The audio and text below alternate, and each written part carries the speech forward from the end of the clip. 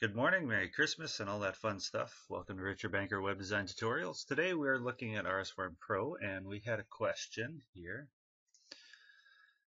Uh, how do I make the email to the customer admin with different values?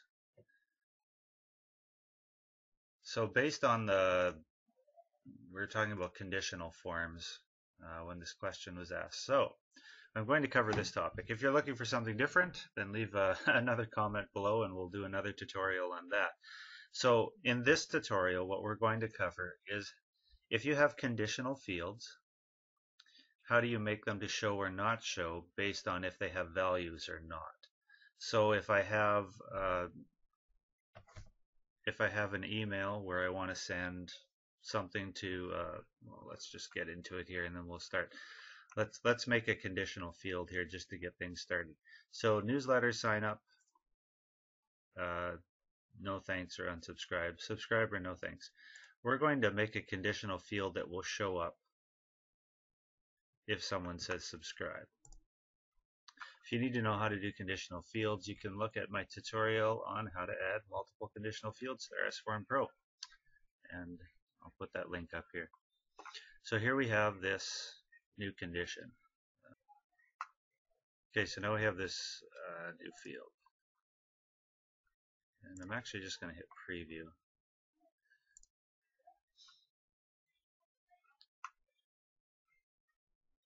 So you can see we say no thanks, no thanks.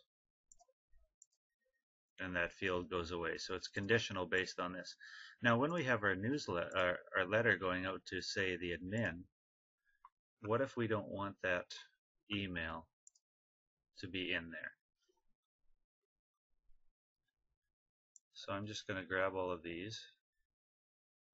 Someone from RSForm Pro is watching this.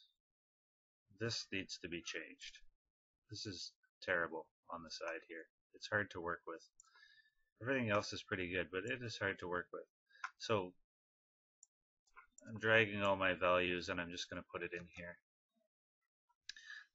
so right now we have all of our values into our email. And we also have this tell us why caption. And what this does is this allows us to have our caption name in there and then the value in there.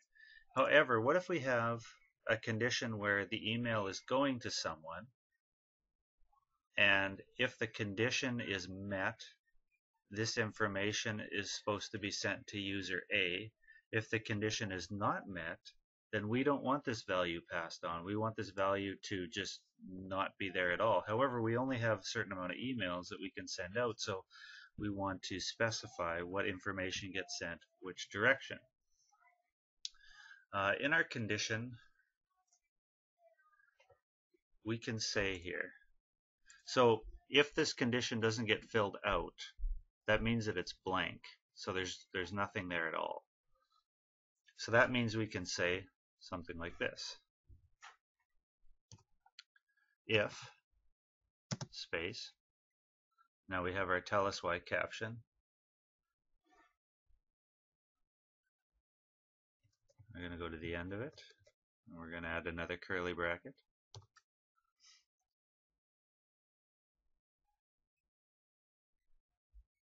I'm just going to clean that up.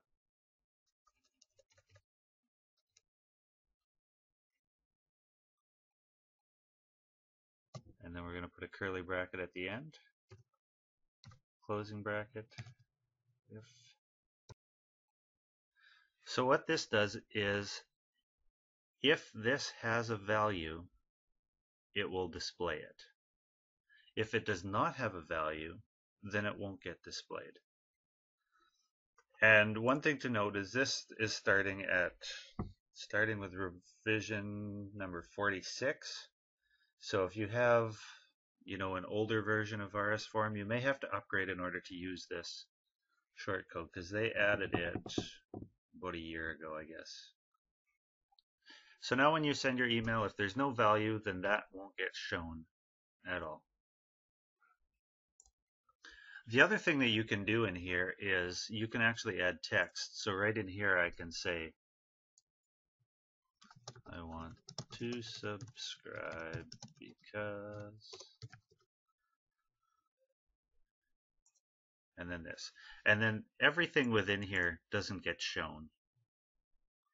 So you can actually control use this to control various texts as well. If someone selects something, then you can have information show up in your letter that won't be shown up, uh, that won't show up if uh, someone doesn't select that.